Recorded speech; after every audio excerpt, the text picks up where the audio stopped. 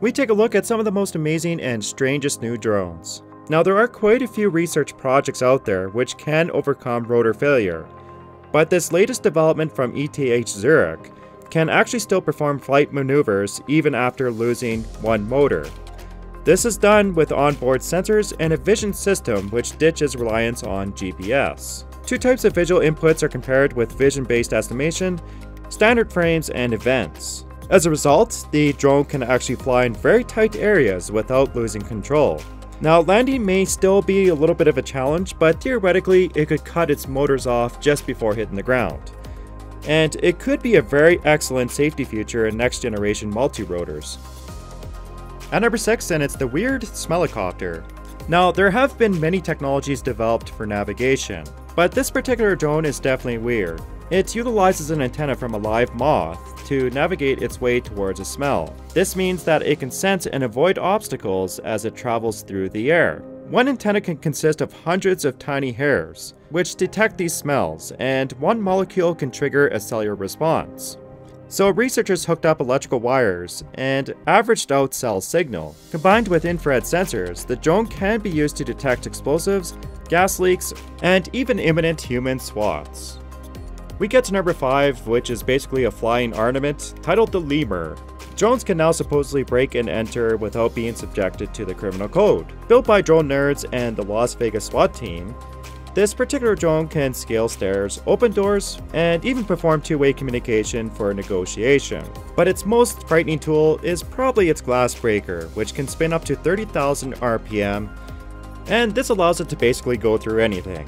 The multicopter also features a carbon structure along with a payload bay, but luckily this will never make it to the open market, and it will only be available to SWAT teams. At number 4, the Anafi AI. Now there are quite a few innovative drones on the market, so it's kind of hard to cover them all, but this particular drone from Parrot is truly next level. It has a basic Wi-Fi setup, but it will switch automatically to an encrypted 4G signal if the signal degrades. It also has an obstacle avoidance system which utilizes stereoscopic cameras for autonomous flight. But this type of feature is quickly becoming the standard for higher end drones. Nevertheless, it does feature a 48 megapixel camera which is affixed to a 6-axis stabilized gimbal. This allows it to tilt 180 degrees vertically. But all of this will probably be very expensive, as the drone will likely start to at around 7 grand. At number 3, and it's a bit of a work in progress project which is titled The Dragon. Now, the University of Tokyo has been working on deformable multi-rotor systems for several years now, but their latest variants are very impressive and they can now plan and calculate maneuvers beforehand. Now this is easier said than done because the Dragon platform is actually doing all this in three dimensions. So joint torque, thrust force, and even kinematics are all precisely calculated and controlled. Now these transforming multi-rotor systems can be a part of the next generation of drones. But the problem right now is that they have very limited flight times.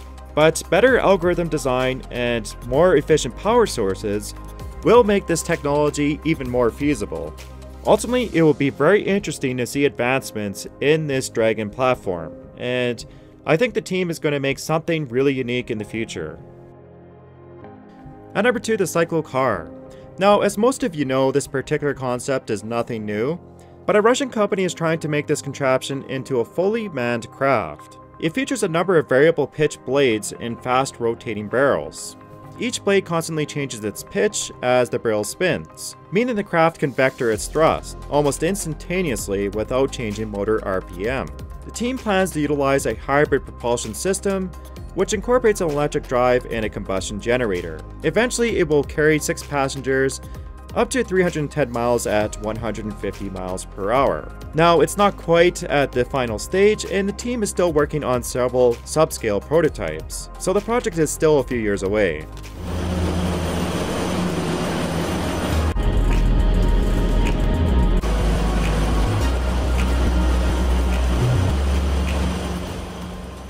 So the future of drone technology will probably hinge on better power sources, morphing capabilities, and possibly swarm integration. This also brings us to number one, which is a collaborative drone project. Now theoretically, these drones can be used for sensing, constructing, or even carrying large payloads. Georgia Institute of Technology has already utilized four drones, which can communicate with each other while in autonomous flight. Doing so allows them to coordinate thrust and orientation so that they can fly as one unit.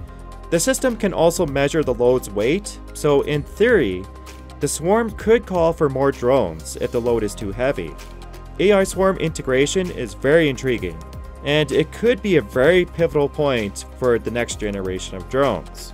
But I would also like to know what you think about all these technologies. So please leave a comment, like the video if you enjoyed it, and also make sure to subscribe